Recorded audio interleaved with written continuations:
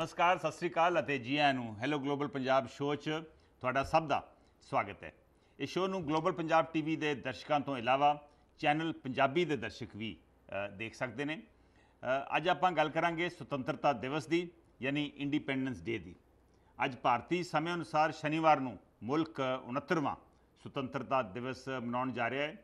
ਪਿਛਲੇ 68 ਸਾਲਾਂ 'ਚ ਸਾਡੀ ਕਾਰਗੁਜ਼ਾਰੀ ਕਿਹੋ ਜਿਹੀ ਰਹੀ ਅਤੇ ਇਸ ਵੇਲੇ ਸਾਡੇ ਸਾਹਮਣੇ, ਸਾਡੇ ਮੁਲਕ ਦੇ ਸਾਹਮਣੇ, ਸਾਡੇ ਲੋਕਾਂ ਦੇ ਸਾਹਮਣੇ ਕੀ ਚੁਣੌਤੀਆਂ ਨੇ? ਇਸ ਮਸਲੇ ਤੇ ਅਸੀਂ ਤੁਹਾਡੇ ਵਿਚਾਰ ਵੀ ਜਾਣਨੇ ਚਾਹਾਂਗੇ, ਪਰ ਉਸ ਤੋਂ ਪਹਿਲਾਂ ਮੈਂ ਨਵੇਂ ਜੁੜੇ ਦਰਸ਼ਕਾਂ ਨੂੰ ਅੱਜ ਵੀ ਦੱਸ ਦੇਵਾਂ ਕਿ ਤੁਸੀਂ ਇਸ ਸ਼ੋਅ ਨੂੰ ਨਾਰਥ ਅਮਰੀਕਾ ਦੇ ਪੈਸੀਫਿਕ ਟਾਈਮ ਮੁਤਾਬਿਕ ਸ਼ਾਮੀ 5:30 ਵਜੇ ਅਤੇ ਈਸਟਰਨ ਟਾਈਮ ਮੁਤਾਬਿਕ ਸ਼ਾਮੀ 8:30 ਵਜੇ ਮੰਡੇ ਤੋਂ ਫਰਾਈਡੇ ਲਾਈਵ ਦੇਖ ਸਕਦੇ ਜੇ। ਕੈਨੇਡਾ ਦੇ ਕੁਝ ਹਿੱਸਿਆਂ 'ਚ ਇਸ ਸ਼ੋਅ ਨੂੰ ਹਾਲੀ ਸਾਡੇ ਦਰਸ਼ਕ ਲਾਈਵ ਨਹੀਂ ਦੇਖ ਸਕਦੇ ਅਤੇ ਇਸ 'ਚ ਹਿੱਸਾ ਨਹੀਂ ਲੈ ਸਕਦੇ। ਪਰ ਇਹ ਸਿਰਫ ਥੋੜੇ ਦਿਨਾਂ ਦੀ ਗੱਲ ਹੀ ਹੈ। ਇਸ ਸ਼ੋਅ ਦੇ ਕੁਝ ਰਿਪੀਟ ਸ਼ੋਅ ਵੀ ਹੁੰਦੇ ਨੇ, ਜਦੋਂ ਤੁਸੀਂ ਸਾਰੇ ਦਰਸ਼ਕ ਪੁਰਾਣੀ ਰਿਕਾਰਡਿੰਗ ਜਾਂ ਪੁਰਾਣੇ ਸ਼ੋਅ ਆ, ਉਹ ਸੁਣ ਸਕਦੇ ਜੀ। ਵੈਸੇ ਪੁਰਾਣੇ ਸ਼ੋਅ ਜਿਹੜੇ ਆ, ਉਹ YouTube ਤੇ ਵੀ ਉਪਲਬਧ ਨੇ। ਹੁਣ ਅੱਜ ਦਾ ਮਸਲਾ। ਹੁਣ ਤੋਂ ਕੁਝ ਘੰਟਿਆਂ ਬਾਅਦ, ਕੁਝ ਦੇਰ ਬਾਅਦ ਮੁਲਕ ਦੇ ਪ੍ਰਧਾਨ ਮੰਤਰੀ ਨਰਿੰਦਰ ਮੋਦੀ 69ਵੇਂ ਸੁਤੰਤਰਤਾ ਦਿਵਸ ਮੌਕੇ ਤੇ ਦੇਸ਼ ਦਾ ਤਿਰੰਗਾ ਝੰਡਾ ਲਾਲ ਕਿਲੇ ਤੋਂ ਲਹਿਰਾਉਣਗੇ। ਇਹ ਸਾਡੇ ਸਾਰਿਆਂ ਵਾਸਤੇ ਖੁਸ਼ੀ ਅਤੇ ਗੌਰਵ ਦਾ ਦਿਨ ਹੋਣਾ ਚਾਹੀਦਾ ਹੈ। ਪਰ ਕੀ ਇਹ ਵਾਕਿਆ ਹੀ ਫੀਲਿੰਗ ਸਾਰਿਆਂ 'ਚ ਹੈ? ਕੀ ਸਾਰੇ ਦੇਸ਼ ਵਾਸੀ ਇਸ ਵੇਲੇ ਭਾਰਤੀ ਹੋਣ 'ਚ ਫਖਰ ਮਹਿਸੂਸ ਕਰਦੇ ਨੇ? ਆਪਾਂ ਸਾਰਿਆਂ ਨੇ ਪੜ੍ਹਿਆ ਹੈ ਕਿ 1947 ਚ ਜਿਸ ਵੇਲੇ ਪੰਡਿਤ ਜਵਾਹਰ ਲਾਲ ਨਹਿਰੂ ਨੇ ਲਾਲ ਕਿਲੇ ਤੋਂ ਪਹਿਲੀ ਵਾਰ ਝੰਡਾ ਲਹਿਰਾਇਆ ਸੀ, ਆਜ਼ਾਦੀ ਤੋਂ ਬਾਅਦ ਜਾਂ ਆਜ਼ਾਦੀ ਦੇ ਮਿਲਣ ਵੇਲੇ, ਉਹਨਾਂ ਨੇ ਇੱਕ ਬੜੀ ਮਸ਼ਹੂਰ ਸਪੀਚ ਕੀਤੀ ਸੀ, ਜਿਸ 'ਚ ਉਹਨਾਂ ਨੇ ਟਰਾਈਸਟ ਵਿਦ ਦ ਡੈਸਟਨੀ ਦੀ ਗੱਲ ਕੀਤੀ ਸੀ ਕਿ ਕਿਵੇਂ?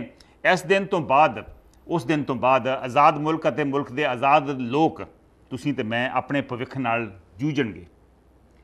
ਇਹ ਆਜ਼ਾਦੀ ਕਈ ਦਹਾਕਿਆਂ ਦੀ ਜਦੋਜਹਿਦ ਤੋਂ ਬਾਅਦ ਸਾਨੂੰ ਮਿਲੀ ਸੀ। ਇਹ ਉਹ ਸਾਲ ਸਨ ਜਦੋਂ ਜਦੋਂ ਕਵੀ ਬਿਸਮਿਲ ਅਜ਼ੀਮਾਬਾਦੀ ਦੀਆਂ ਮਸ਼ਹੂਰ ਲਾਈਨਾਂ, ਸਰਫਰੋਸ਼ੀ ਕੀ ਤਮੰਨਾ ਅਬ ਹਮਾਰੇ ਦਿਲ ਮੇ ਹੈ ਗਲੀ ਗਲੀ ਵਿੱਚ ਗੂੰਜਦੀਆਂ ਸਨ। ਇਸ ਵਿੱਚ ਕੋਈ ਸ਼ੱਕ ਨਹੀਂ ਕਿ ਆਜ਼ਾਦੀ ਤੋਂ ਬਾਅਦ ਕਈ ਖੇਤਰਾਂ 'ਚ ਮੁਲਕ ਨੇ ਬਹੁਤ ਤਰੱਕੀ ਕੀਤੀ ਹੈ, ਪਰ ਬਹੁਤ ਸਾਰੇ ਖੇਤਰਾਂ 'ਚ ਹਾਲੇ ਵੀ ਜਾਂ ਸੁਪਨੇ ਜਿਹੜੇ ਆ, ਸੁਪਨੇ ਜਿਹੜੇ ਆ ਅਧੂਰੇ ਨੇ ਜਾਂ ਉਹ ਆਲਰੇਡੀ ਚਕਨਾ ਚੂਰ ਹੋ ਚੁੱਕੇ ਨੇ। ਜੇ ਤਰੱਕੀ ਦੀ ਗੱਲ ਕਰੀਏ ਤਾਂ ਸਾਇੰਸ ਐਂਡ ਟੈਕਨੋਲੋਜੀ ਖੇਤਰ 'ਚ ਅਸੀਂ ਨਾਲ ਲੱਗਦੇ ਮੁਲਕ, ਪਾਕਿਸਤਾਨ, ਬੰਗਲਾਦੇਸ਼, ਸ੍ਰੀਲੰਕਾ ਵਗੈਰਾ ਵਗੈਰਾ, ਇਹਨਾਂ ਸਾਰੇ ਮੁਲਕਾਂ ਤੋਂ ਬਹੁਤ ਬਿਹਤਰ ਕੰਮ ਕੀਤਾ ਹੈ। ਸਾਡੇ ਇੱਥੇ ਮੁਸ਼ਕਲਾਂ ਦੇ ਬਾਵਜੂਦ ਲੋਕਤੰਤਰ ਡੈਮੋਕ੍ਰੇਸੀ ਨੂੰ ਬਰਕਰਾਰ ਰੱਖਣ ਦੀ ਪੁਰਜ਼ੋਰ ਕੋਸ਼ਿਸ਼ ਹੁੰਦੀ ਰਹੀ ਹੈ। ਸਾਡੇ ਗੁਆਂਢੀ ਮੁਲਕ ਆਪਣੇ ਇਧਰ ਪਾਕਿਸਤਾਨ 'ਚ ਲਗਾਤਾਰ ਮਾਰਸ਼ਲ ਲਾਅ ਅਤੇ ਫੌਜੀ ਰੂਲ ਲੱਗਦਾ ਰਿਹਾ ਹੈ। ਪਰ ਸਾਡੇ ਇੱਥੇ ਸਮੇਂ ਸਿਰ ਚੋਣਾਂ ਦਾ ਸਿਲਸਿਲਾ ਕਾਮਯਾਬੀ ਨਾਲ ਨਿਭਾਇਆ ਜਾਂਦਾ ਰਿਹਾ ਹੈ। ਸਾਡੀ ਫੌਜ ਦੀ ਸ਼ਲਾਘਾ ਬਾਹਰਲੇ ਮੁਲਕਾਂ 'ਚ, ਖਾਸ ਕਰਕੇ ਯੂਨਾਈਟਿਡ ਨੇਸ਼ਨਸ ਵਿੱਚ ਵੀ ਲਗਾਤਾਰ ਹੁੰਦੀ ਰਹੀ ਹੈ। Indian peace keeping force United Nations ਵੱਖਰੇ ਵੱਖਰੇ ਮੁਲਕਾਂ 'ਚ ਕਰੀਬ ਹਰ ਸਾਲ ਜਾਂਦੀ ਰਹੀ ਹੈ। ਹੁਣ ਵੀ ਜਾ ਰਹੀ ਹੈ। 1947 ਚ ਆਜ਼ਾਦੀ ਵੇਲੇ ਪੰਜਾਬ ਨੇ ਬਹੁਤ ਸੰਤਾਪ ਚੱਲਿਆ ਸੀ। ਆਪਣੇ ਬਜ਼ੁਰਗ ਦੱਸਦੇ ਆ ਵੀ ਕਿਵੇਂ ਆਜ਼ਾਦੀ ਵੇਲੇ ਬਹੁਤ ਸੰਤਾਪ ਪੰਜਾਬ ਨੇ ਔਰ ਪੰਜਾਬ ਦੇ ਲੋਕਾਂ ਨੇ ਚੱਲਿਆ ਸੀ। ਮੈਂ ਤੇ ਉਸ ਵੇਲੇ ਪੈਦਾ ਨਹੀਂ ਸੀ ਹੋਇਆ। ਈਸਟ ਅਤੇ ਵੈਸਟ ਪੰਜਾਬ 'ਚ ਇਹਨਾਂ ਦੋਵਾਂ ਪਾਸੇ 10 ਲੱਖ ਦੇ ਕਰੀਬ ਲੋਕ ਫਿਰਕਾ ਪ੍ਰਸਤੀ ਅਤੇ ਹਿੰਸਾ ਦੇ ਸ਼ਿਕਾਰ ਹੋ ਗਏ ਸਨ। ਇਸ ਵਾਕਿਆ ਨੇ ਸਾਰੀ ਦੁਨੀਆ ਨੂੰ ਝ- ਝੰਜੋੜ ਕੇ ਰੱਖ ਦਿੱਤਾ ਸੀ। ਪਰ ਅਫਸੋਸ ਦੀ ਗੱਲ ਇਹ ਹੈ ਕਿ ਉਸ ਤੋਂ ਬਾਅਦ ਵੀ ਸਾਡੇ ਮੁਲਕ 'ਚ ਘੱਟੋ ਘੱਟ ਇੱਕ ਦਰਜਨ ਫਿਰਕੂ ਹਿੰਸਾ ਦੇ ਇਹੋ ਜਿਹੇ ਵਾਕਿਆ ਹੋਏ ਨੇ ਜਿਨ੍ਹਾਂ 'ਚ ਹਜ਼ਾਰਾਂ ਜਾਨਾਂ ਚਲੀ ਗਈਆਂ ਸਾਡੇ ਸਾਰਿਆਂ ਵਾਸਤੇ ਬੜੀ ਸ਼ਰਮਨਾਕ ਗੱਲ ਹੈ। ਅ, 1948 ਚ ਹੈਦਰਾਬਾਦ ਤੋਂ ਇਹ ਕੰਮ ਸ਼ੁਰੂ ਹੋਇਆ। ਉਦੋਂ ਪਹਿਲੀ ਵਾਰੀ ਆਜ਼ਾਦੀ ਤੋਂ ਬਾਅਦ ਫਿਰਕੂ ਹਿੰਸਾ ਹੋਈ ਸੀ। ਉਸ ਤੋਂ ਬਾਅਦ ਜਿਹੜੀ ਫਿਰਕਾ ਪ੍ਰਸਤੀ ਆ ਉਹਦਾ ਸਫ਼ਰ ਗੁਜਰਾਤ ਮੁਰਾਦਾਬਾਦ ਅਸਾਮ ਚ ਨੈਲੀ ਫਿਰ ਦਿੱਲੀ ਜਿੱਥੇ ਅ, 1984 ਚ ਸਿੱਖਾਂ ਖਿਲਾਫ ਹਿੰਸਾ ਹੋਈ ਫਿਰ ਭਾਗਲਪੁਰ ਜਿਹੜਾ ਬਿਹਾਰ ਚ ਆ ਮੁੰਬਈ ਜਿਹਨੂੰ ਉਸ ਵੇਲੇ ਜਦੋਂ ਉੱਥੇ ਇਹੋ ਜਿਹੇ ਵਾਕਿਆ ਹੋਏ ਸੀ ਉਹਨੂੰ ਬੰਬੇ ਕਿਹਾ ਜਾਂਦਾ ਸੀ ਅਹਿਮਦਾਬਾਦ ਜਿਹੜਾ ਗੁਜਰਾਤ ਚ ਆ ਅ, ਮੁਜ਼ੱਫਰਨਗਰ ਜੋ ਯੂਪੀ ਚ ਆ ਇਹ ਕਈ ਥਾਵਾਂ ਤੇ ਇਹੋ ਜਿਹੇ ਵਾਕਿਆ ਜਿਹੜੇ ਆ ਹਾਲੀ ਮੈਂ ਛੋਟੇ-ਮੋਟੇ ਜਿਹੜੇ ਵਾਕਿਆ ਜਿੱਥੇ ਮੈਂ ਕਹਿ ਸਕਦਾ ਵੀ ਜਿੱਥੇ 10 20 50 ਲੋਕ ਮਾਰੇ ਗਏ ਉਹਨਾਂ ਦੀ ਮੈਂ ਗਿਣਤੀ ਉਹ ਜਿਹੇ ਪਤਾ ਨਹੀਂ ਸੈਂਕੜਾ ਇਹੋ ਜਿਹੇ ਇਨਸੀਡੈਂਟ ਹੋ ਹੋ ਰਹੇ ਆ।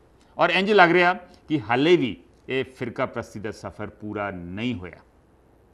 ਸੋ ਮੁਲਕ ਸਾਹਮਣੇ ਇੱਕ ਵੱਡੀ ਚੁਣੌਤੀ ਹੈ ਫਿਰਕਾ ਪ੍ਰਸਤੀ ਨੂੰ ਨੱਥ ਪਾਉਣ ਦੀ। ਆਮ ਕਿਹਾ ਜਾਂਦਾ ਹੈ ਕਿ ਮੁਲਕ ਨੂੰ ਜਾਤਾਂ ਦੇ ਇੱਕ ਫਿਰਕਾ ਪ੍ਰਸਤੀ ਇੱਕ ਇਸ਼ੂ ਆ, ਦੂਸਰਾ ਇਸ਼ੂ ਆ, ਇਹ ਆਮ ਕਿਹਾ ਜਾਂਦਾ ਕਿ ਮੁਲਕ ਨੂੰ ਜਾਤਾਂ ਦੇ ਆਧਾਰ ਤੇ ਸਾਡੇ ਜਿਹੜੇ ਇੱਥੇ ਪੁਰਾਣੇ ਜਿਹੜੇ ਸਾਡੇ ਰੂਲਰ ਸਨ, ਮਹਾਰਾਜੇ, ਰਾਜੇ ਜਾਂ ਸਾਡੇ ਜਿਹੜੇ ਉਸ ਤੋਂ ਬਾਅਦ ਜਿਹੜੇ ਵਿਦੇਸ਼ੀ ਲੋਕ ਇੱਥੇ ਆਏ ਜਿਨ੍ਹਾਂ ਨੇ ਸਾਡੇ ਤੇ ਰੂਲ ਕੀਤਾ ਇਹ ਉਹਨਾਂ ਨੇ ਸਾਨੂੰ ਜਾਤਾਂ ਦੇ ਆਧਾਰ ਤੇ ਵੰਡਿਆ ਸੀ। ਪਰ ਆਜ਼ਾਦੀ ਦੇ 68 ਸਾਲ ਬਾਅਦ ਵੀ ਮੁਲਕ ਉਸੇ ਤਰ੍ਹਾਂ ਹੀ ਜਾਤਾਂ ਦੇ ਆਧਾਰ ਤੇ ਇਸ ਵੇਲੇ ਵੰਡਿਆ ਹੋਇਆ ਹੈ। ਆਪਾਂ ਉਸੇ ਤਰ੍ਹਾਂ ਹੀ ਕਾਸਟ ਬੇਸਿਸ ਦੀ ਗੱਲ ਕਰਦੇ ਜੀ ਉਹ ਇਸ ਜਾਤੀ ਦਾ ਵਾ ਉਹ ਇਸ ਜਾਤੀ ਦਾ ਵਾ ਐਸ ਉਹ ਨੀਚੀ ਜਾਤੀ ਦਾ ਵਾ ਉਹ ਉੱਚੀ ਜਾਤੀ ਦਾ ਵਾ। ਪੜ੍ਹਾਈ ਅਤੇ ਆਪਾਂ ਨੂੰ ਪਤਾ ਹੀ ਆ ਕਿ ਨੌਕਰੀਆਂ ਵਾਸਤੇ ਕਰੀਬ ਅ, 49 50 ਫੀਸਦੀ ਸੀਟਾਂ ਜਿਹੜੀਆਂ ਵਾ, ਉਹ ਜਾਤੀ ਦੇ ਆਧਾਰ ਤੇ ਰਾਖਵੀਆਂ ਰੱਖੀਆਂ ਗਈਆਂ ਰਿਜ਼ਰਵ ਰੱਖੀਆਂ ਗਈਆਂ। ਹੋਰ ਤੇ ਹੋਰ, ਸਿੱਖ ਧਰਮ, ਜੋ ਜਾਤੀਵਾਦ ਦੇ ਖਿਲਾਫ ਇੱਕ ਬੁਲੰਦ ਆਵਾਜ਼ ਸੀ, ਉਹ ਵੀ ਅੱਜ ਇਸ ਦਾ ਫਿਰਕਾ ਆਪਣੀ ਜਾਤਵਾਦ ਦਾ ਜਾਤ ਪਾਤ ਦਾ ਸ਼ਿਕਾਰ ਹੁੰਦਾ ਨਜ਼ਰ ਆ ਰਿਹਾ। ਗਰੀਬੀ ਹਟਾਓ, ਤੀਸਰਾ ਮਸਲਾ, ਗਰੀਬੀ ਹਟਾਓ ਵਰਗੇ ਨਾਰੇ ਪਿਛਲੇ ਆਪਾਂ 60 65 ਸਾਲਾਂ ਤੋਂ ਸੁਣਦੇ ਆ ਰਹੇ ਹਾਂ। ਪਰ ਅਫਸੋਸ ਦੀ ਗੱਲ ਹੈ ਕਿ ਹਾਲੇ ਵੀ ਕਰੀਬ ਜੇ ਆંકੜਿਆਂ ਵੱਲ ਜਾਈਏ, ਤੇ ਕਰੀਬ 6 ਕਰੋੜ ਲੋਕ ਝੁੱਗੀਆਂ ਚੌਂਪੜੀਆਂ 'ਚ ਰਹਿੰਦੇ ਨੇ। ਸਾਡੇ ਮੁਲਕ ਦੇ 22 ਫੀਸਦੀ ਲੋਕ ਇੰਨੇ ਗਰੀਬ ਨੇ ਕਿ ਉਹਨਾਂ ਦੀ ਰੋਜ਼ ਦੀ ਆਮਦਨ 30 ਰੁਪਏ ਤੋਂ ਵੀ ਘੱਟ ਹੈ। ਆਪਾਂ ਸੁਪਨਿਆਂ ਦੀ ਗੱਲ ਕਰੀਏ, ਇਹ ਸਾਰੇ ਉਹ ਲੋਕ ਨੇ, ਗਰੀਬ ਲੋਕ ਉਹ ਨੇ, ਜਿਹੜੇ ਉਸ ਹਾਲਤ 'ਚ ਨਹੀਂ ਕਿ ਸੁਪਨੇ ਵੀ ਲੈ ਲੈਣ। ਸੋ 68 ਸਾਲ ਬਾਅਦ ਵੀ ਇਹੋ ਜਿਹੇ ਬਹੁਤ ਸਾਰੇ ਮੁਲਕ ਦੇ ਹਿੱਸੇ ਨੇ।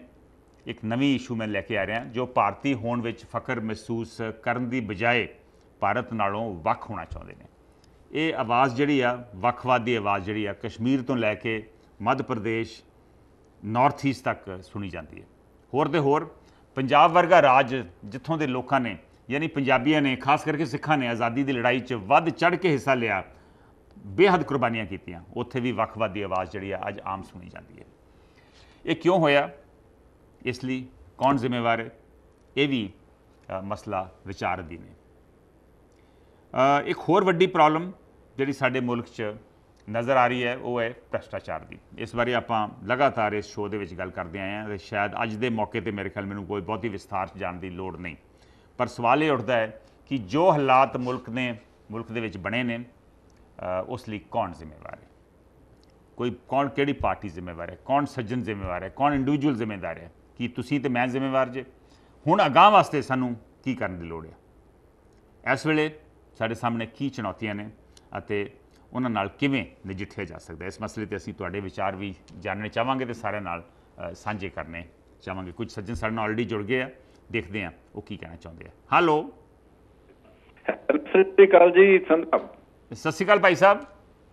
ਮੈਂ ਅਮਰਜੀਤ ਬੋਲ ਰਿਹਾ ਜੀ ਕੈਲੀਫੋਰਨੀਆ ਤੋਂ। ਹਾਂਜੀ ਹਾਂਜੀ ਅਮਰਜੀਤ ਜੀ ਦੇਖੋ ਜੀ ਬੜੀ ਖੁਸ਼ੀ ਦੀ ਗੱਲ ਸਾਡਾ ਇਹ ਆਜ਼ਾਦੀ ਦਿਵਸ ਆ ਪਰ ਕੋਈ ਮਨ ਦੇ ਵਿੱਚ ਇੰਨੀ ਖੁਸ਼ੀ ਨਹੀਂ ਆਉਂਦੀ ਹੈ ਕਿਉਂਕਿ ਦੇਖੋ ਬਈ ਸਭ ਤੋਂ ਜ਼ਿਆਦਾ ਵਰਲਡ ਦੇ ਵਿੱਚ ਕਰਪਸ਼ਨ ਤਕਰੀਬਨ ਇੰਡੀਆ ਦੇ ਵਿੱਚ ਹੈ ਇੱਕ ਡੈਮੋਕ੍ਰੇਸੀ ਜੀ। ਡੈਮੋਕ੍ਰੈਟਿਕ ਕੰਟਰੀ ਦੂਸਰਾ ਉੱਥੇ ਕਿੰਨੇ ਕੁ ਲੋਕਾਂ ਨੂੰ ਆਜ਼ਾਦੀ ਆ।